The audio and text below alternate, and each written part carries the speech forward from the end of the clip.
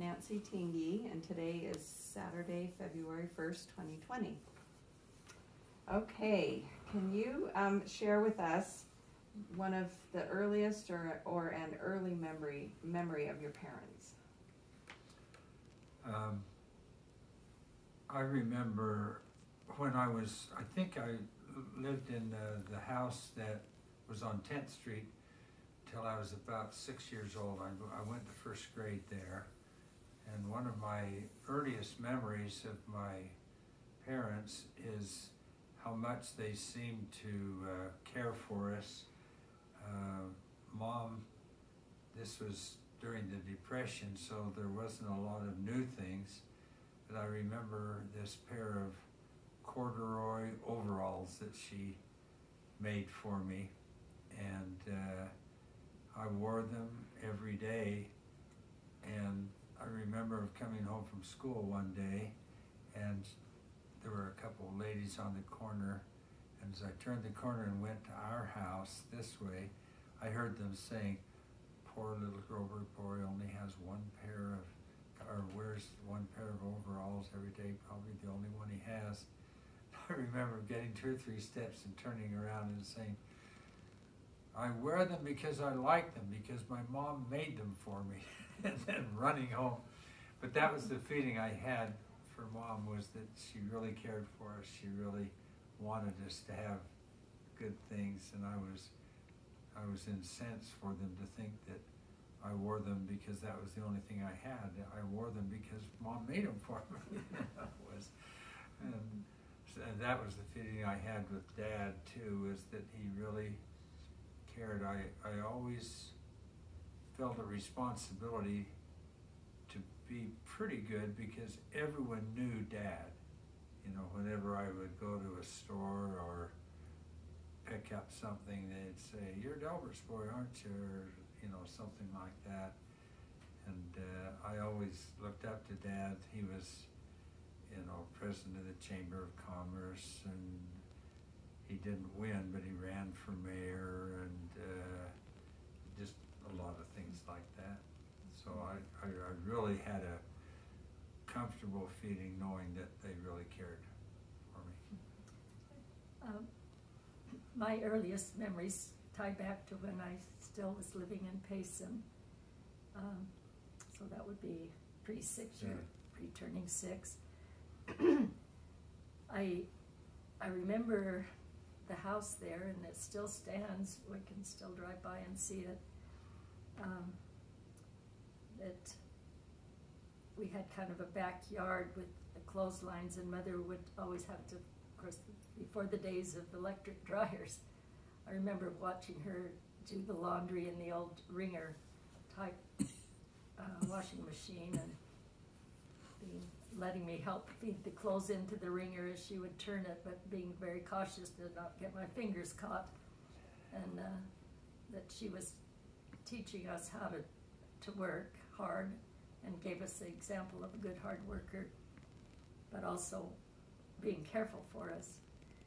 And one of the things, she, I, they had a little harness kind of thing, and I must have only been about three or so, I guess, because I, they would put this little harness on me, and then she had a long rope that she tied it to, and then tied it to the clothesline when I wanted to play outside and so I could run around and this would slide up and down the clothesline. It gave me pretty good access to the whole backyard.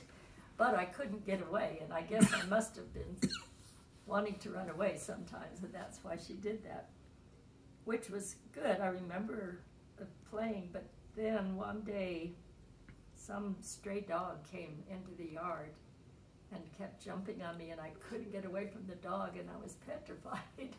so that's one very early memory I have of being tied to the clothesline. But um, I, I, knew that she wanted me to be safe. and uh, what a what a good hard worker she was. I remember as we got a little older and sometimes Marilyn and I would get in a little argument or fight or something. Uh, and her way of trying to calm us down was she would start singing let us all speak kind words to each other, or one of the other hymns that talks about loving your family and so forth. But that was one that she used quite often. And uh, angry words, oh, let them never from your lips. Anything on your dad? and with my dad, oh, yes, what a hard worker he was. He tried to farm, he tried to, and I, I remember very vividly, and I can still see the color and smell when he would come in from a day of picking tomatoes on the farm. And it was mealtime, and he went to the sink to wash his hands, and he'd lathered them up really good, and the soap lather just became this beautiful chartreuse, chartreuse green color From the from tomato all the tomato vines on his hands, and that was a fascinating thing to watch. How that soap would just bubble up and and be that pretty color, but it had that definite smell of the. Mm. I'm sure I would recognize if I smelled it again Mhm. of the tomato vines. Yeah. Well, And that's then, uh, great, and that, you know, gardening was such a big part Right, of he his was life, such, yeah. a- as you remember, he was such a great gardener. I remember he would sometimes let us go when he would take a load of peas that he had pulled to the vinery, and we'd ride on the wagon and, and watch them unload the peas. That's a very brief, I don't have a lot of details, but he, did let us go see that once. Mm. The wagon loaded with all the pea vines. They just Mhm. pulled up the whole vines in some way. I guess there was a machine there that would pick the peas off or Mm. something. And emptied pods, huh? Uh-huh. Interesting. Yeah. So, so as you think of your parents, can you share with us a memory that is an example of a character trait of theirs that you admire and, and want them to be remembered? Um, I would say uh, hard workers and generous, uh, thoughtful. Um, one other little thing about Daddy, I remember he always had his pocket knife in his a little pocket knife in his trousers pocket. And if you'd be standing talking to someone just on the lawn or yard outside or something, and he'd spot a dandelion in the grass, he'd take his knife out and dig that little uh, weed out of the way. He just wanted to keep such a great, neat yard and get rid of weeds. And, and uh, of course, he was a great builder. Uh, he, I've got his square, his metal square that I, in my mind stands for his desire to always have things done right. Uh, you know, just exact and, and honorable in all, everything that he did. Mm-hmm.